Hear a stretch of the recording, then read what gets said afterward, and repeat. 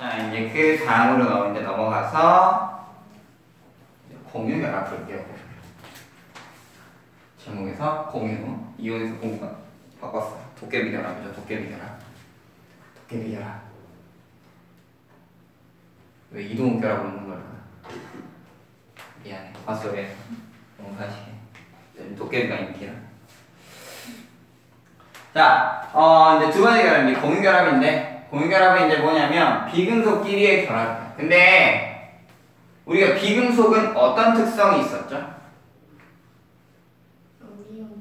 그렇지. 전자를 얻어오는 걸 좋아해.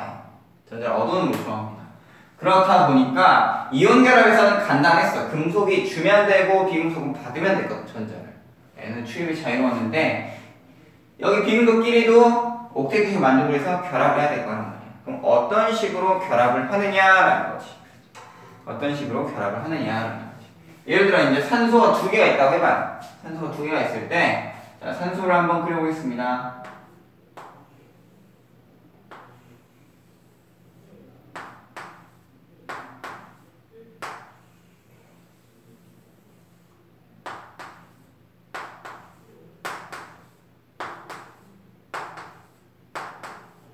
자, 산소는 이렇게 생겼어. 그쵸? 5지 5. 8번 5입니다. 봤더니 이제 자리가 몇 개가 부족해? 몇 개? 여기 두 개가 부족한 거야. 부족하다 보니까 이제 어디서 전자를 끌어오고 싶은데 내 지금 옆엔 누구밖에 없냐면 또 다른 산소밖에 없는 거지. 또 다른 산소밖에 없는 거야. 자, 이런 식으로.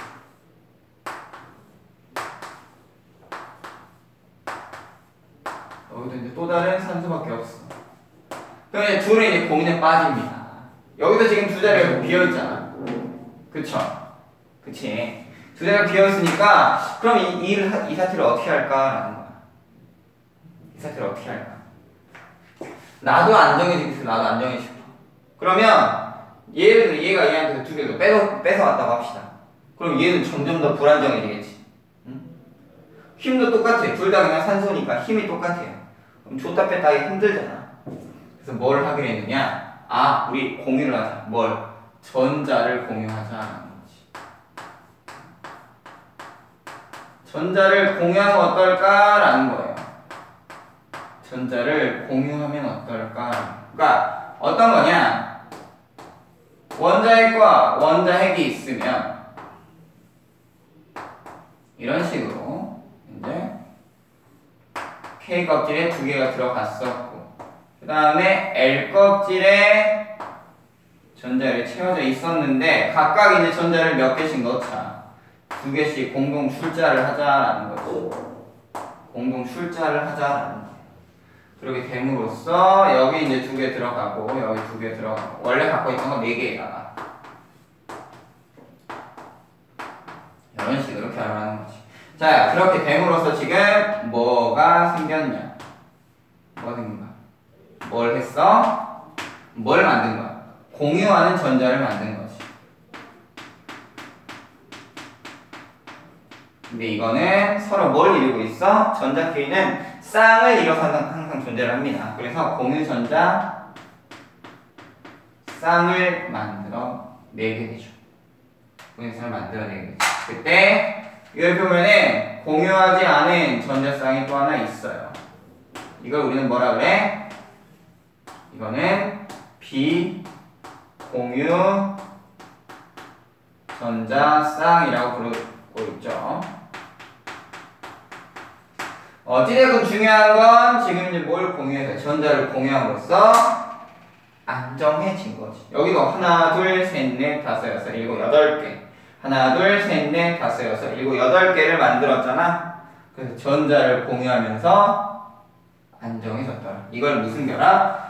공유 결합이라고 하더라.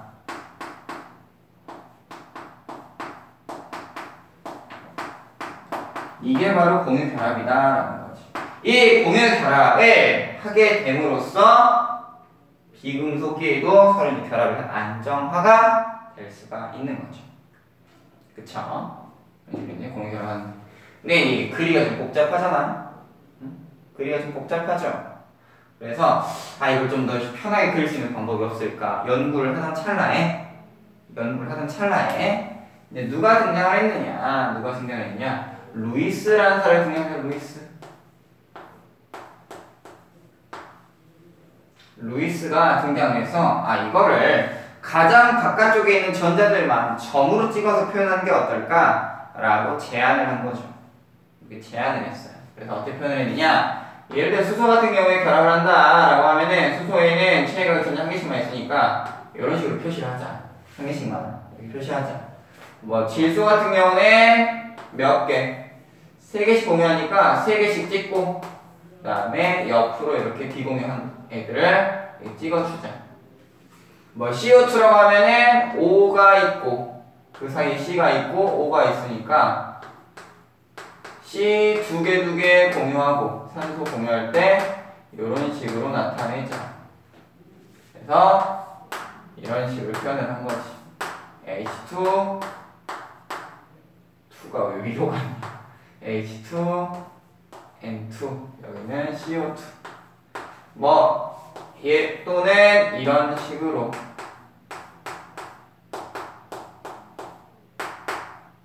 이런 식으로 표현하는 거지. 이건 뭐야? NH3. 그래서 루이스가 제안해서 전자를 뭘로 표시했어? 점으로 표시했습니다. 이걸 뭐라 그래? 루이스 전자 점식이라고 해.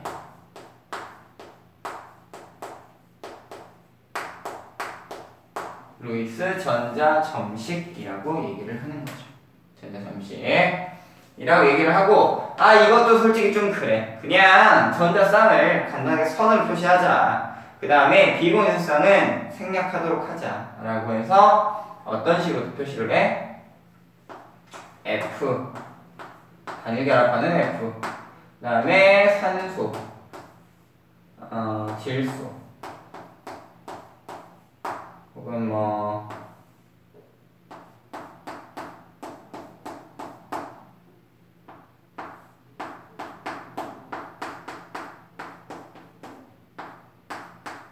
이런 식으로 표현을 하자라고 약속을 한 거죠. 이걸 뭐라고 해? 구조식이라고 이름을 붙였습니다. 구조식이라고 이름을 붙였어요. 그러니까 어떤 식으로 원자들이 결합을 하고 있는지 결합선은 몇 개인지를 알 수가 있는 거죠. 그래서 여기 선 하나가 뭘 의미해? 공유 전자쌍 하나를 의미하죠. 여긴 전자쌍이 몇 개 있어? 하나. 전자가 두 개 들어있는 거잖아요. 그쵸? 그 중에서 선이 지금 하나 있죠? 선이 지금 하나 있잖아. 요거를 뭐라고 하고? 단일 결합이라고 하고.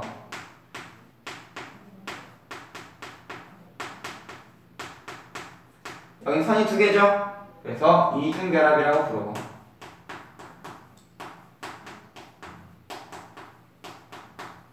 여기는 세 개잖아. 그래서 삼중 결합이라고 부르고.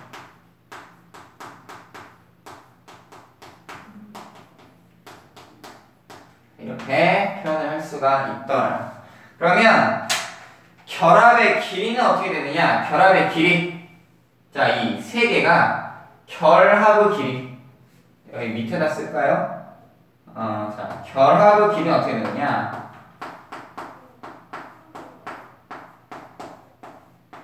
누가 제일 기냐면 단일이 가장 길죠.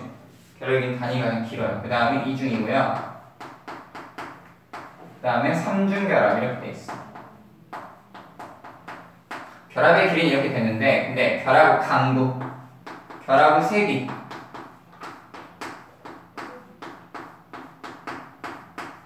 결합의 세기는 어떻게 되느냐? 이때는 단일이 가장 단일이 중 3중이 있으면 가장 세기가 강한 건 3중, 2중 단일이죠. 우리 질소 있잖아요. 질소는 반응성이 큰 기체야, 반응성이 작은 기체야? 작아. 왜 작을까 봤더니 얘는 삼중결합하고 있거든. 그래서 결합이 강해서 잘 떨어지지가 않죠. 그래서 N2는 안정한 기체다라고 얘기를 해서 포장지에 많이 넣는 거죠. 포장 충전재, 질소 충전재 많이 넣잖아요. 이런 식으로 나타내게 되고 그리고 일부는 일부는 어떤 게 또 되느냐? 이거는 전자쌍이 있잖아요. 이 전자쌍을 밀어 넣어서 뭘 만드냐면 배위 결합이라는 걸 만들게 돼요. 배위 결합. 배위 결합이라는 걸 만들어냈대요. 배위 결합이라고 하는 거는 뭐냐? 자, 여기 이제 O 있고 H, H 이렇게 있어. H2O라고 해봅시다. 그때 이쪽에 전자쌍이 이렇게 두 쌍이 있잖아. 비공 전자쌍이 두 개 있을 때 여기는 누가 오냐면 수소 이온이 놀러와요. 수소 이온이 놀러오면 얘는 지금 전자쌍이 없죠. 없으니까 어떻게 만들어버리냐? O가 이렇게 있으면 자기가 가지고 있는 전자쌍을 수소한테 하나 줘. 이런 식으로 주고 그 다음에 이런 식으로 찍는 거지. 근데 아까 양윤이었잖아. 핵전화가 하나 더 많죠. 그래서 어떤 식으로 표현을 하느냐 이런 식으로 나타내게 되지. 플러스 이런 식으로 표현을 하게 됩니다. 이걸 배위 결합이라고 해. 또 어떤 것도 있냐면 NH3가 있다고 하면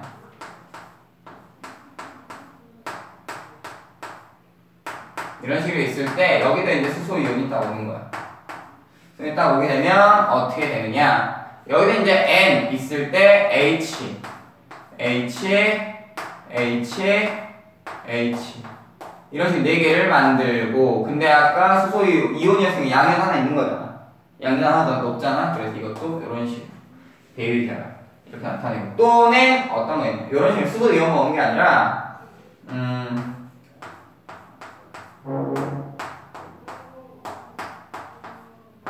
이렇게 있으면 그 옆으로 누가 오냐면 B F F F 이런 식으로 오는 거지.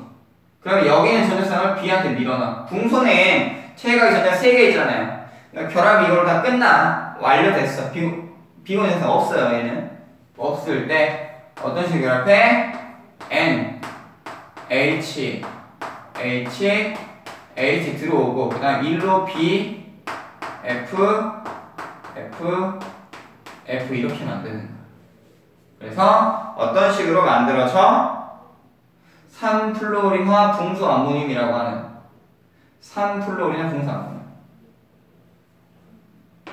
NH3 BF3 이런 식으로 3플로린화 붕수 암모늄이라고 하는 이런 물질을 만들어내게 됩니다. 여기는 어떻게 써야 돼? NH4 플러스 암모늄 이온이잖아요? 어? 우리 자주 보다 얘는 H3O 플러스 이게 뭐냐면 우리가 그 물에 녹였을 때 수소 이온 내어놓는 물질 산 있잖아 산 이게 이제 하이드로늄 이온이라고 하는데 수소 이온 혼자 존재하는 게 아니라 이런 형태로 존재하는 거야 물 분자에 결합을 해요 수소 이온 이 하이드로늄 이온을 만들어서 존재하는 겁니다 산의 특성이 딱 이거야 이런 식으로 돼요 알겠어요? 이렇게 만들어진 게 보다 배위 결합이다 그러니까 공유 결합을 통해서 만들어지는 물질의 방식들이죠 알겠나요? 음. 이런 식으로 이제 나타내는데, 그러니까 어떤 것도 있냐면 이 옥텟 규칙을 따르지 않는 경우들도 반드시 생기게 되더라라는 거예요. 옥텟 규칙을 따르지 않는 그런 경우들도 생겨요. 확장된 옥텟이라고 하는 건데 여기에 대한 건 이제 뒤에 가서 다시 또 자세히 분자 구조의 다양성에 대해서 이제 배우면서 들어가게 될 거고 이제 그러면 공결합은 어떤 특성이 있느냐라는 거죠. 어떤 특성이 있느냐라는 거예요. 공유결합의 특성에 대해서 볼 수 있도록 하겠습니다. 자, 먼저 결합. 공유결합 결합이에요. 그럼 어떤 식으로 결합하느냐? 이것도 마찬가지예요. 아까 우리 그래프 그렸던 거 있잖아요. 어? 그래프 그렸던 거 기억나요? 공유결합도 마찬가지로 어떤 그래프를 그리느냐? 이런 식의 그래프를 그립니다. 이런 식으로 나오죠. 이런 식으로. 이런 식으로 되는데. 자, 자, 공유결합은 어디에 대해서 결합을 할 때 이제 에너지가 최소값이 이 지점에서 이제 결합을 이루어내죠. 이루어낼 때, 자, 이쪽은 뭐가 우세하겠어? 그렇지. 여기는 반발력이 세고, 여기는 반발력이 우세한 거고, 이쪽은 인력이 더 우세한 거죠. 떨어지려고 하면 죽고 반발력이 세면 다시 밀어내고 하는 거죠. 그러니까 이런 식으로 이제 결합을 하는 게 공유 결합이더라. 그러면 어, 이런 거죠. 음, 공유럽끼리는 그 힘의 크기, 힘의 크기가 어떻게 결정되냐? 아까 우리가 봤듯이 요거 있었잖아. 결합의 길이가 곧 이렇게 될 때 되는 게 있었고, 그쵸? 요거 하나랑 또 하나 또 어떤 게 있어? 그럼 근결합 할 때 에너지가 얼마 드느냐는 거지. 근결합의 에너지. 응? 이걸 이제 결합 에너지.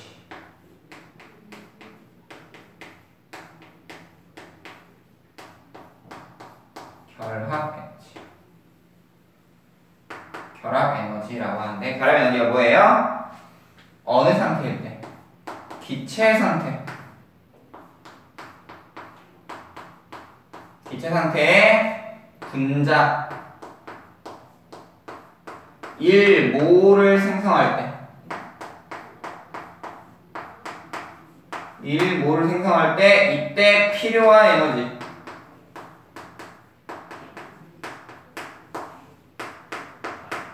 그걸 뭐라고 한다? 결합 에너지라고 합니다. 얼마 필요하냐? 수소 같은 경우는 얼마가 들어가요? 436kJ 몰이 되는 거지. 수소는 결합 에너지. 그러니까 뭐냐면 수소 분자를 수소 분자를 어떻게 하는 거냐? 436kJ 몰의 에너지를 줘야 뭘로 쪼갤 수 있느냐? 두 개의 수소로 쪼갤 수 있더라라는 거야. 넣으면 결합하는 거고 여기서 부여하면 떼지고 그거예요. 알겠어요? 그래서 결합이 강할수록 들어가는 에너지가 많지. 세기가 강할수록 더 세고 결합의 길이는 대신 더 길어지게 되고 그렇게 되는 겁니다. 알겠나요? 그래서 이제 거기 이제 나와 있는 게 이러한 거고요. 그 다음에 보면 HF, HCl, HBr 나와 있어. 뭐가 결합 에너지가 증가해요? 거리가 뭐 할수록 가까울수록 더 결합 에너지는 증가하게 되는 겁니다. 응? 결합 에너지. 거리가 가까워지면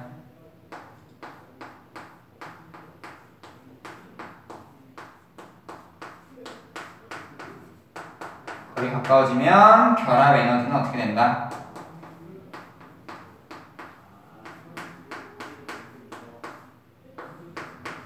증가한다. 알겠죠?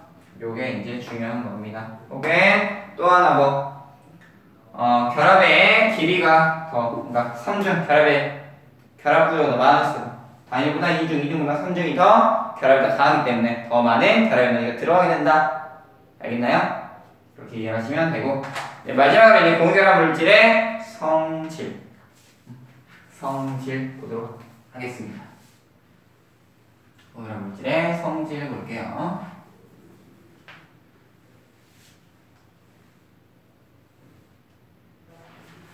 자.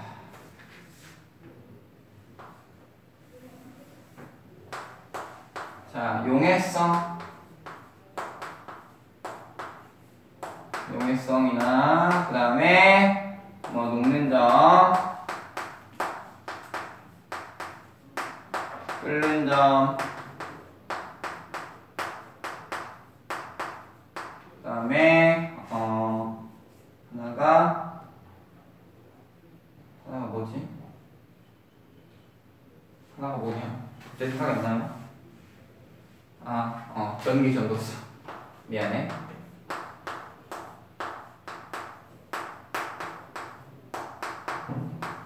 자, 첫 번째로 볼 거는 물에 대한 용해, 어? 용해성인데. 물에 대한 용해성. 응? 왜, 왜? 빨리 가고 싶어? 좀만 참아. 용해성인데, 이제 극성 분자 같은 경우는 극성 분자는 대체로 용해성이 높아요. 극성 분자 용해성이 높다. 그러니까 무슨 얘기냐? 물이 극성 용매다 보니까 극성을 띠는 분자들 같은 경우는 잘 녹아. 하지만 무극성 분자는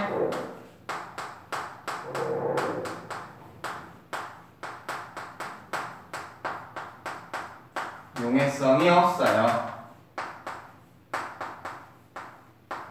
극성과 무극성에 대한 건 다음 시간에 좀 자세히 보도록 할 거고요. 그러니까 물은 극성 분자이기 때문에 대체로 극성 분자를 잘 녹인다로 일단 이해하시면 돼요. 녹아 극성 분자는 알겠죠? 무극성은 무극성끼리 친하고 극성 극성끼리 친한 거예요. 그다음 두 번째 녹는 점과 끓는 점.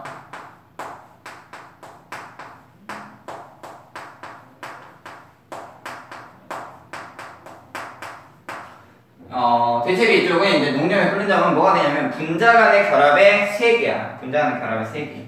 그래서 분자 간 결합이 분자 간 인력이 그렇게 강하지 않아. 약해. 간 인력이 약하기 때문에 녹는 점이나 끓는 점은 낮아요. 그래서 대체로 이제 기체 물질이 좀 많지. 기체나 고체가 많고 액체인 거 브로민 브로민 같은 경우는 이제 액체로 존재하는데 나머지 이제 용매 끓는 낮은 편이다. 그러니까 아까 이온 결합 물질에 비해서는 이쪽이 훨씬 더 낮잖아요. 인력이. 그래서 점은 낮아진다. 세 번째 전기 전도성.